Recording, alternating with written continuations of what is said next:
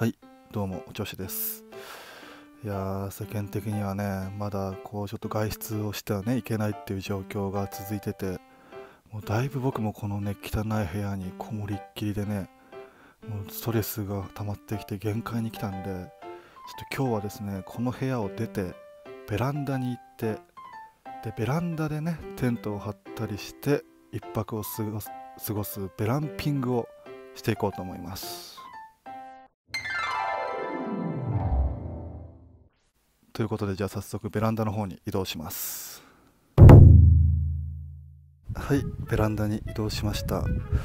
これあの僕ん家のベランダねもう周りにね家がこうち住宅街なんですけどももうめっちゃ周りのご近所さんからいつでも見られる状況に今いてすごい恥ずかしくて怖いんですけどまあとりあえずね進めていこうと思うんでまずはテントを張っていこうと思います。で今回使うテントはこちらです。このコストコで買ったコアの12人用のジャンボテントです。これねもう以前いただいたもんなんですけどもねありがとうございます。普通に買ったらこれ4万円ぐらいねするねでっかいテントでね。これやっぱね見て分かる通りねすごいサイズがでかいんですねこのバッグの状態で。だからあんまりちょっとバイクとか電車でねキャンプに行く僕たちはかさばるんで持っていけなくてね結構うちの倉庫に眠ってたみたいなね感じになってるんですけどもあんま使わないで、まあ、今日はねベランピングということですぐ近くにあるんでこれをね使って広々と快適に1人でこのテントの中で1泊ね過ごしたいと思います。でねこれね前はみんなで作ったりしてたんですけどもね初めて今日はね俺しかいないんで1人で作っていこうと思うんですけどもこれから作れるかな。まあとりあえずテント立てていきます。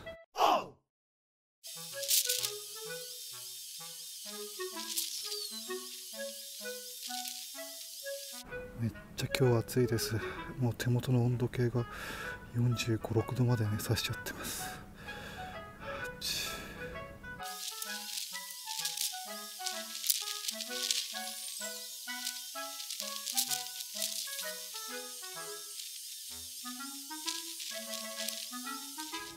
はいやっと完成しました。やっぱ一人で作ると結構ね大変ですね。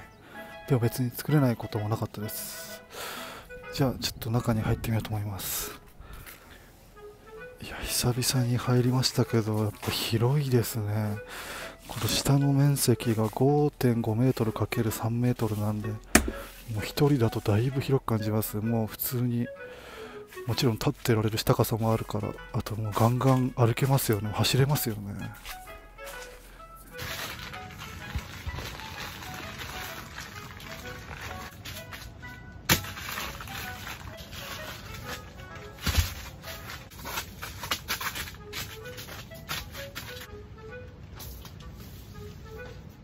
はいじゃあねせっかくねここに家があるんでちょっと家の中にいろいろ家具とかね快適に過ごせるグッズがたくさんあるんでそれをこのテントの中に移動させて快適な空間をちょっと作っていこうと思います。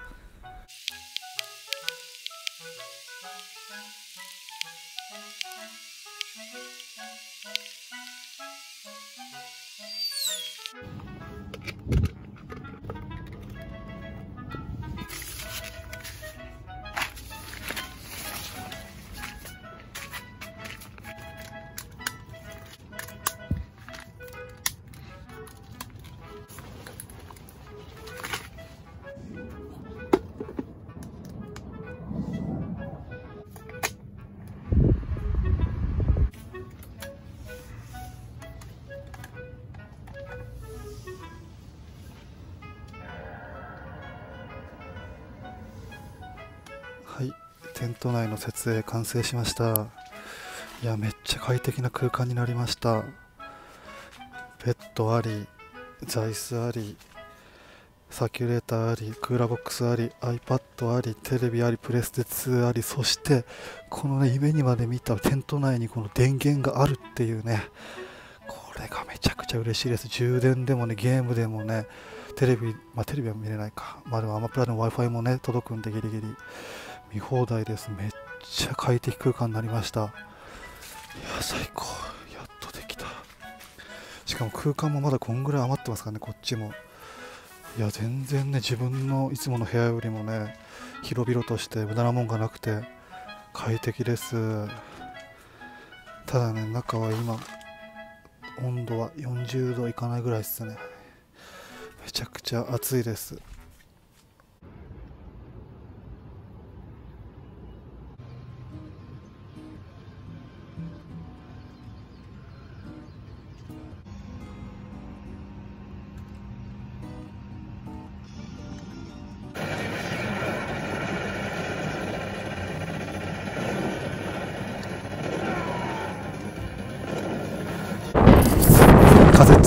なり崩壊しました。中にいたら。命かながら外に脱走してきました。いやペグ打ってないにしてもねこんな弱いはずないと思うんですけどどっかロックされてなかったのかな。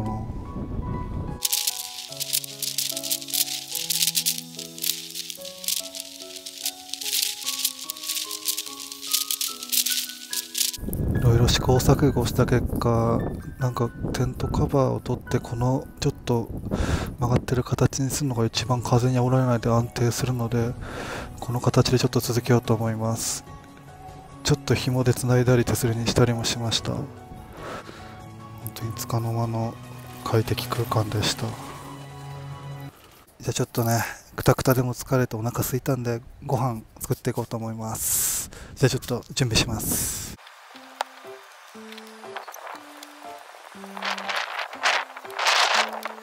はいじゃあ今日はねちょっともうほんと暑くてくたくたでもうほんとあったかいもん空気も起きないぐらい暑いんでちょっと納豆そば冷たい納豆そばを作って食べようと思います。すげえ空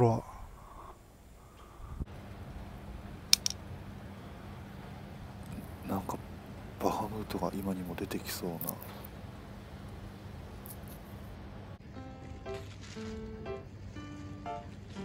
はいじゃあ作っていきます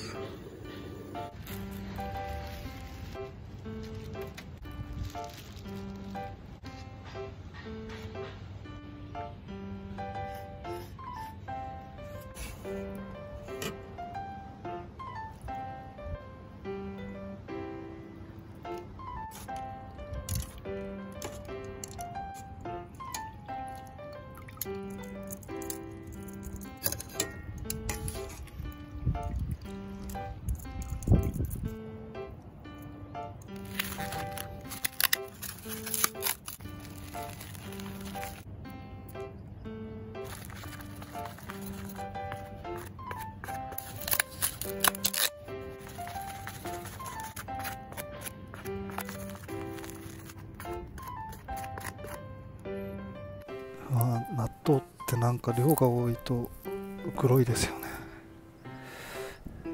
はいじゃあここに自家製のめんつゆをちょっと入れてで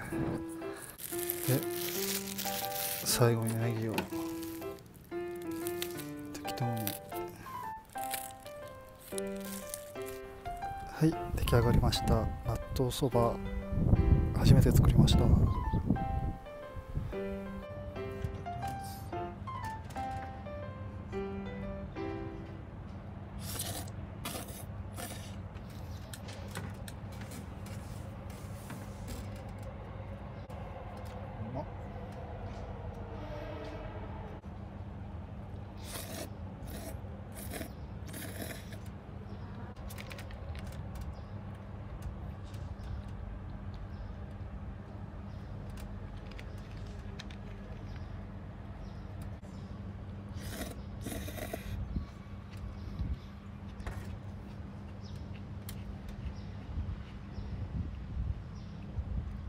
ちそうさまでした。めっちゃうまかったです。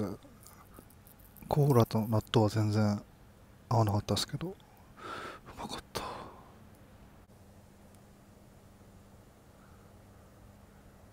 はいやっとね今夕方になって涼しい気温になってね快適な空間が戻ってきました。テントもね普通に自立して今立ってます。こんな感じで。いやぱり涼しいと気持ちいいですね。全然居心地がいい。最高。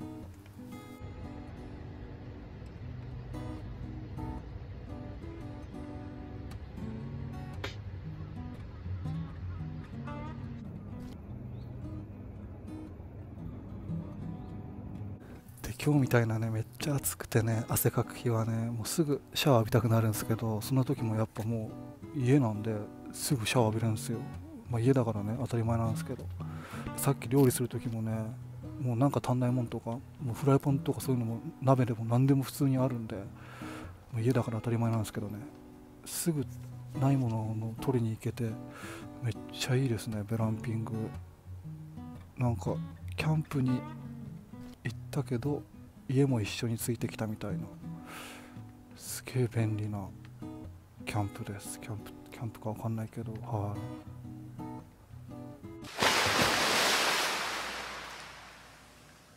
い。シャワー浴びてきました。めっちゃさっぱりした。すごいテントの中涼しくて気持ちいいです。このあとね真っ暗になるの嫌すけどそれまでのこの夕刻567時ぐらい最高ですね。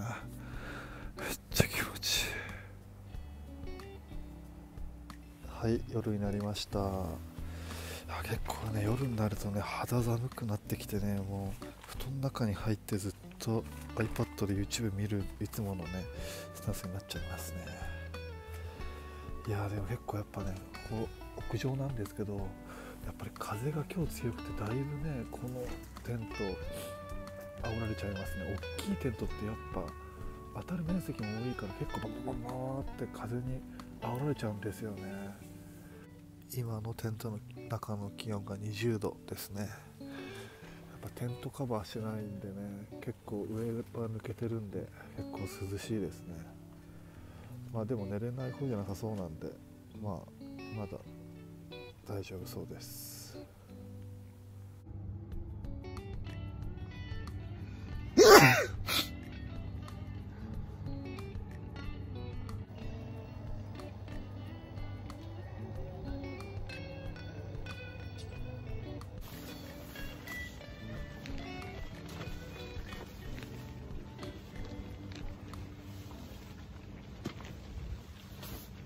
っと映画見てたら眠くなってきてちょっと眠れそうなんでなんかそんなに寒くもないですしこのまま寝ちゃおうと思います。いやちょっと強風でねこのテントが崩壊しないことを祈って眠りにつきます。おやすみなさい。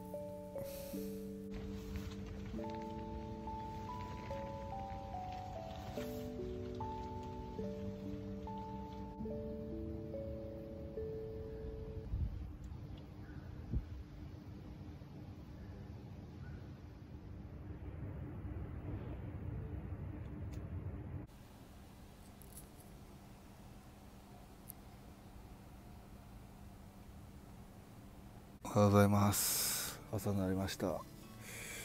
いや一応眠れましたね。まあ、夜がね結構やっぱ風が強くて、まあ、上もないんでねカバーしてないんで結構寒かったですけどまあでも別に眠れました。なんかやっぱ風が強くてバーってねこうテントをね揺らす音でちょっとうるさくてたまに起きたりちょっと肌寒くて少し薄い眠りの時もありましたけど、まあ、でも一応眠れました。めっちゃね今すごい暑いですね。やっぱ日中はテントカバーしてないと。温度計はもうほんと40度超えてますね。テントの中の温度計は。でやっぱ日中は絶対テントカバーした方がいいですね。直で。日射が来るんで太陽の日が。テントがね崩壊しないで本当良かったです。マジでちょっとそれだけ怖かったんで。やっぱりこの建物にねこのテントをビタ付けしてでこの紐で建物にね2個くくりつけてたのが良かったんでしょうね。普通にどっしりと守ってくれてました。倒れないで。はいということでね一応ちょっと夜肌寒かったですけどまあおおむね快適に過ごせることができました。このデカテント。これでねまあ一旦終わりにしようと思うんですけどもまあでもやっぱりこのデカテントね作ったらね中広くてね心地いいんですけどもまあ、やっぱ設営がね1人だとめっちゃ大変ですね。だからもし次このベランピングするときは今度はあのちっちゃいテントでやろうと思いますね。このデカテントはやっぱ1人で建てるんじゃなくてもやっぱ最低でも2人から建て2人で建てた方がね絶対いいです。まあでもね最近ずっと自分の部屋の中でねずっともう1ヶ月以上過ごしてたんでねいい気分転換にはなりました。本当にね一応どうしようかな。まだこのままにしておいていつでもベランダで寝れるような状態にしていこうかなとかね思ったりもしてるぐらいです。本当グランピングおすすめです。はいということでね最後までねご視聴ありがとうございました、えー、以上快適広々ベランピングでベランダでキャンプしてみた。キャンプ？わかんないですけどしてみたでした。ご視聴ありがとうございました。